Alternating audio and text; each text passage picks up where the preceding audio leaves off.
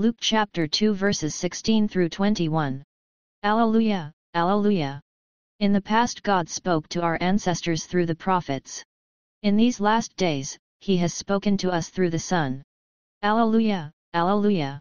The shepherds went in haste to Bethlehem and found Mary and Joseph and the infant lying in the manger.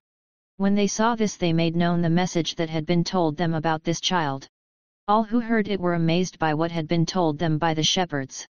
And Mary kept all these things reflecting on them in her heart.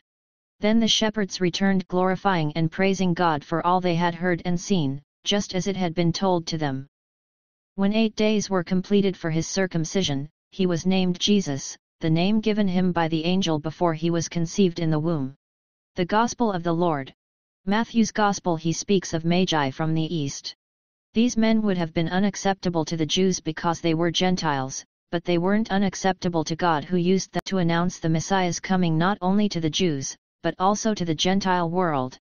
Today we hear Luke speak of the shepherds, people who lived on the outer edge of Jewish society, like the Magi they were people that most religious leaders would have ignored, but God didn't ignore them.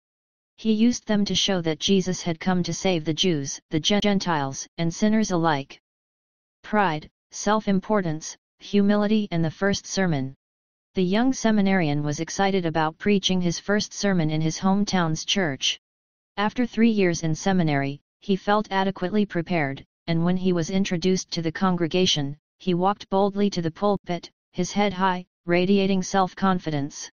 But he stumbled reading the scriptures and then lost his train of thought halfway through the message.